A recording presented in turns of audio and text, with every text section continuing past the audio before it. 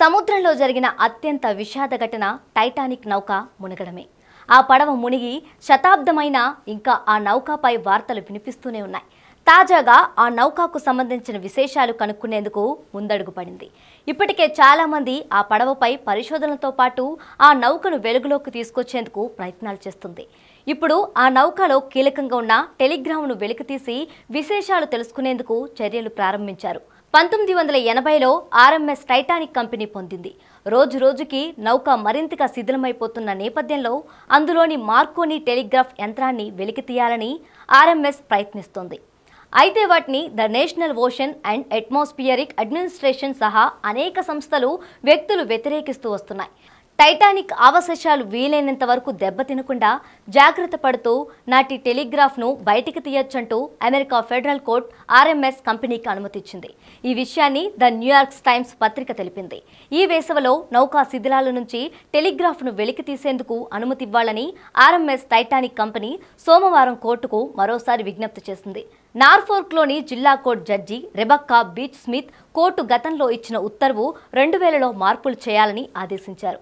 ఆ నిబంధనను సడలించడంతో టైటానిక్ నౌక శిథిలాల్లోని టెలిగ్రాఫ్ యంత్రాన్ని వెలికితీయటానికి అవకాశం ఉంటుంది. ఆ రేడియో ట్రాన్స్మిటర్ ద్వారా నాటి దారుణ ఘటనకు సంబంధించి రహస్యాలు అందకుండా పోయినా రేడియో సంభాషణలు బయటపడే అవకాశం ఉందని ఆర్ఎంఎస్ కంపెనీ భావిస్తోంది. నౌక మునిగిపోతున్న సమయంలో నాటి ప్రమాదం గురించి ప్రపంచానికి తెలియజేసేందుకు ఉపయోగించిన ఆ మార్కోని టెలిగ్రాఫ్ చారిత్రకంగా సాంస్కృతికంగా శాస్త్రీయంగా ఎంతో విలువైన వస్తువుగా పేర్కొంటున్నారు. నౌకాను వీలైనంత వరకు విచ్ఛిన్నం చేయకుండా టెలిగ్రాఫ్ ఉన్న గదికి చేరుకునేందుకు ఆ కంపెనీకి అనుమతిస్తున్నట్లు న్యాయస్థానం ప్రకటించింది.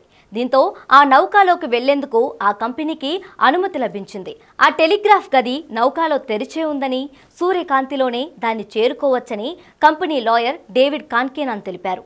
మార్కోని టెలిగ్రాఫ్ను బయటకు తీసేందుకు పెట్టే ఖర్చుతో పోల్చితే ఆ వస్తువు పెద్ద విలువైనది కాదని దానివల్ల ప్రజలకు పెద్దగా ప్రయోజనం కూడా లేదని ఎన్ఓఏఏ ఏప్రిల్లో కోర్టుకు విన్నవించింది. అక్కడ నమ్మశక్యం కాని చరిత్ర నిక్షిప్తమై ఉందని వందలాది మంది జలసమాధి అయిపోయారని వారిని గౌరవించడంలో భాగంగా అన్వేషణ వద్దని పలువురు కోరుతున్నారు. కోర్టు నిర్ణయాన్ని the National Ocean and Atmospheric Administration సహా అనేక ఇతర సంస్థలు వ్యతిరేకిస్తున్నాయి. మునిగిన నౌకాను అలాగే వదిలేయాలని కోరుతున్నారు.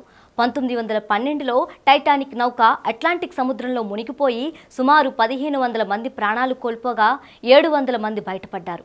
హాయ్ యోస్ మన స్పాట్ న్యూస్ ఇప్పుడు షేర్ చాట్ డైరీ హ్యాండ్ యాప్స్లో కూడా ఉంది. ఫాలో ఉండే ఛానల్ను సబ్స్క్రైబ్ చేయడం మర్చిపోవద్దు. గంట కొట్టడం అస్సలు మర్చిపోవద్దు.